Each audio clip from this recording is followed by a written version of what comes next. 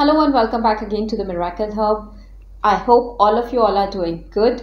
So, आज के time को अगर ध्यान में रखा जाए तो सबसे बड़ी प्रायोरिटी क्या है हमारे लिए हमारी प्रायोरिटी इस टाइम पे बूस्टिंग आर इम्यून सिस्टम तरह तरह के काढ़े आ रहे हैं तरह तरह की चाय की रेसिपीज़ आ रही हैं तरह तरह के फ़ूड आइटम्स आ रहे हैं ये खाइए नहीं खाइए ये नहीं ऐसा आपको खाना चाहिए, इस तरह से बनाना चाहिए। मैंने खुद एक वीडियो ऐसा किया हुआ है जिसमें मैंने आप लोगों को डाइट्स बताई है, जो मैंने आप लोगों के साथ फ़ूड आइटम्स बताई हैं, जिससे कि इम्यूनिटी स्ट्रांग होती है।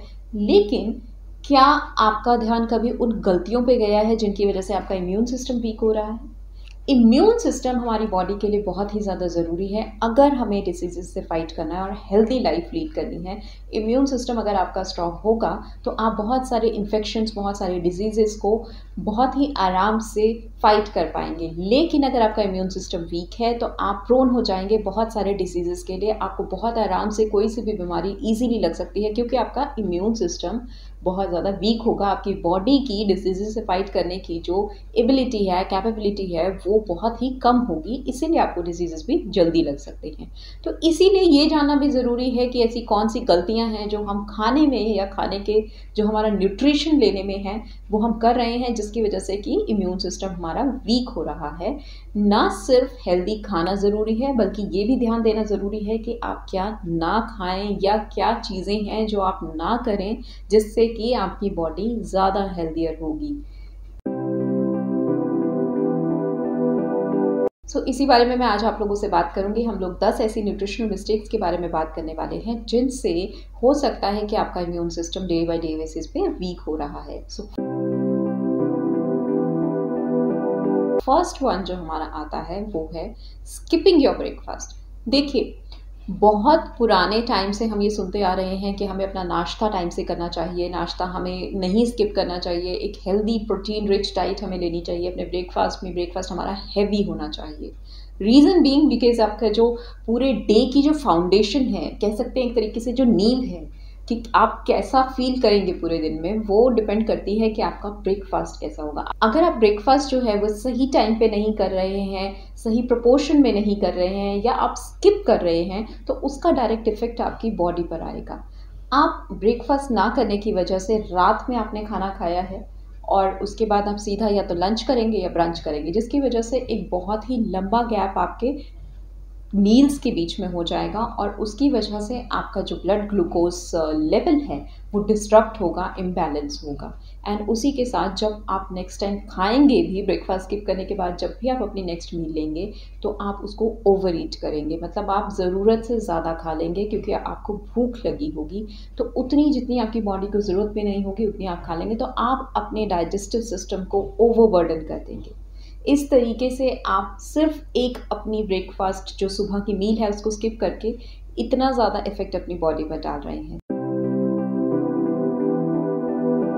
सेकेंड चीज़ है, हम यूजुअली नेग्लेक्ट करते हैं स्नैक्स लेना। सो नेग्लेक्टिंग स्नैक्स स्नैक्स माने कि चिप्स बिस्किट्स ये सब नहीं।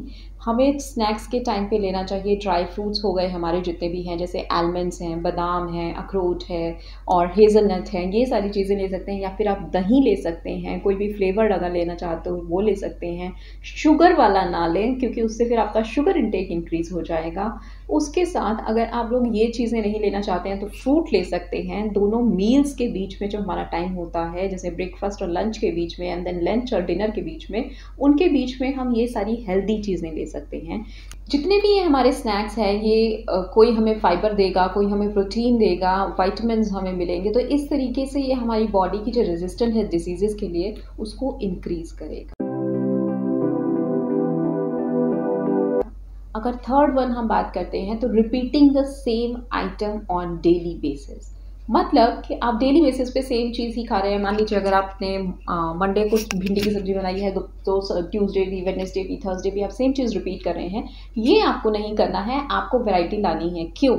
क्योंकि हर तरह के फ़ूड आइटम में अपनी तरह के न्यूट्रिएंट्स होते हैं प्रोटीन होता है वाइटमिन होते हैं मिनरल्स होते हैं और हमें हर तरह का वाइटमिन मिनरल और प्रोटीन ये सारी चीज़ें जितने भी न्यूट्रिएंट्स हैं, वो ऑप्टिमम क्वांटिटी में रिक्वायर्ड होते हैं और उन सारों को लेने के लिए हमें अलग अलग चीज़ों को अलग अलग तरह से खाना होगा। एक दिन अगर आप एक सब्ज़ी खा रहे हैं तो दूसरे दिन दूसरी खाइए, तीसरे दिन तीसरी खाइए। दालों में भी सेम आपको ऐसे ही रिपीट करना है। आप दो तीन दालें पकड़ के मत बैठ जाइए कि हमें यही खानी है और हम कोई दाल नहीं खाना चाहते।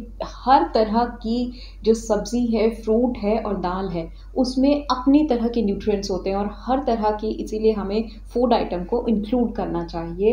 एक मोनोटोनस जो डाइट है, वो मत लीजिए कि हमारा ब्रेकफास्ट यही होना चाहिए, हमें सिर्फ़ यही सिंगल एक चीज़ पसंद है, यही हमने खानी है। लंच में हमने यही एक स्पेसिफिक सब्ज़ी है, ये स्पेसिफिक दाल है, यही खानी है, ऐसा मत कीजिए। बिकॉज़ अगर आप ऐसा करते हैं तो आप बहुत सारे जो न्यूट्रिएंट्स हैं, उनसे अपनी बॉडी को बहुत दूर रखेंगे डिप्राइव करेंगे, जिसकी वजह से आपकी बॉडी को कभी भी वो न्यूट्रिएंट्स नहीं मिलेंगे, और उससे आपका इम्यून सिस्टम जो है, वो वीक हो सकता है। कम पानी पीना अगेन एक बहुत बड़ी प्रॉब्लम है। अगर आप बहुत कम पानी पीते हैं तो उससे भी आपकी जो बॉडी है, वो इफ़ेक्ट होती है। देखिए, जब हम पानी पीते हैं तो पानी जो है, वो हमारे फ़ूड को डाइजेस्ट करने में हेल्प करता है। जो हमारी बॉडी में हार्मफुल वेस्ट हैं, उनको बाहर निकालने में हेल्प कर रहा है। और जो हमने फ़ूड खाया है, और उससे जो हमें न्यूट्रिएंट्स मिले हैं, उसे हमारी बॉडी में एब्जॉर्ब करने के लिए भी वाटर बहुत ज़्यादा ज़रूरी है। क्योंकि सत्तर परसेंट तो हमारी बॉडी पानी ही है एक तरीके से। तो इसीलिए पानी सफिशेंट पीना हमारे लिए बहुत ज़्यादा ज़रूरी है। आठ, नौ, दस ग्लासेस एटलीस्ट आप एक दिन में लिया कीजिए। और ऐसा नहीं है कि अब आपको पानी पीना है तो आप उसको ओवर कर दें। बहुत ज़्यादा भी आपको कोई चीज़ नहीं करनी है और बिल्कुल कम भी नहीं करनी है। एक ऑप्टिमम लेवल मेंटेन करना है और उतना ही आपको लेना। नेक्स्ट अगर हम बात करते हैं तो कुछ लोगों को आदत होती है खाने के बाद मीठा खाने की। ईटिंग डेजर्ट्स डेली डेजर्ट्स हम जो ले रहे हैं, उनमें कोई हेल्दी न्यूट्रिएंट्स तो है नहीं। ना वो कोई प्रोटीन दे रहे हैं, ना वाइटमिन दे रहे हैं कार्बोहाइड्रेट्स रिच हैं। कैलोरी काउंट बहुत ज़्यादा है उनका और ऊपर से मीठा भी है। स्वीट भी हम ले रहे हैं। तो इससे हो क्या रहा है कि आपका जो अनहेल्दी वेट है, वो इंक्रीज़ करेगा। जो डिज़र्ट्स हैं, जैसे केक्स हैं पेस्ट्रीज हैं पैक्ड फ़ूड बेसिकली वो बहुत ज़्यादा हाई होते हैं कैलोरी में, आपकी अनहेल्दी जो वेट है वो इंक्रीज़ हो जाएगा और उसकी वजह से आपकी बॉडी जो है वो उतनी स्ट्रॉन्गर नहीं रहेगी टू फाइट इन्फेक्शंस और डिजीजेस इम्यून सिस्टम भी आपका उसके साथ साथ वीक होगा. Lack of protein rich diet ना प्रोटीन जो है, वो एक सही अमाउंट में लेना बहुत ज़्यादा ज़रूरी है, क्योंकि अगर आप कम अमाउंट लेते हैं प्रोटीन का तो उससे आपका इम्यूनिटी सिस्टम वीक होता है।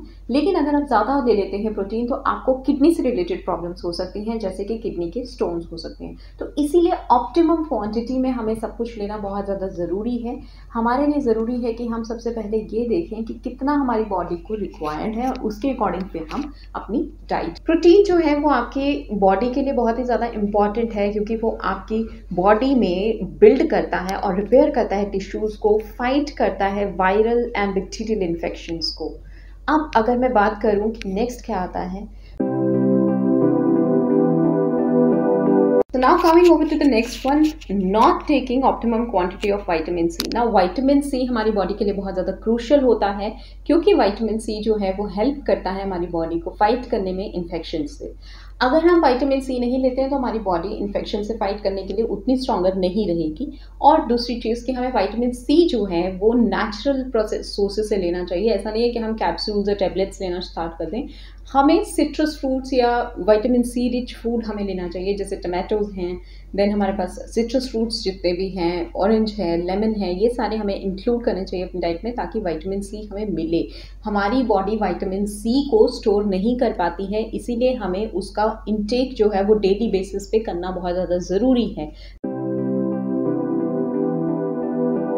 Drinking too much of alcohol ना अगर आप बहुत ज़्यादा एल्कोहल लेते हैं तो आपकी बॉडी में जो रेजिस्टेंस होती है डिज़ीज़ के अगेंस्ट वो बहुत ही कम हो जाएगी और आप बहुत ज़्यादा प्रोन हो जाएँगे डिसीज़ के लिए। आपको बहुत जल्दी कोई सी भी बीमारी लग जाएगी।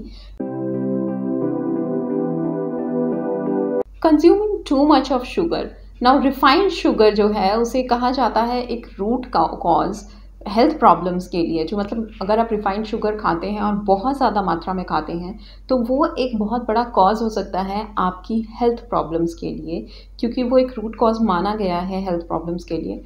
ऑल्सो अगर आप इंटेक कर रहे हैं ऐसे फूड्स का जो कि हाई हैं शुगर में तो उसकी वजह से आपका जो ब्लड ग्लूकोज लेवल है, वो भी फ्लक्चुएट करेगा, वो भी आपका इम्बैलेंस होगा। और साथ के साथ इनको खाने का कोई मतलब भी नहीं है, क्योंकि ये ना तो कोई हेल्दी हमें न्यूट्रिएंट्स दे रहे हैं, ना इनमें कोई प्रोटीन्स है, ना वाइटामिन है, बस कैलोरी काउंट हमारा इंक्रीज़ कर रहे हैं।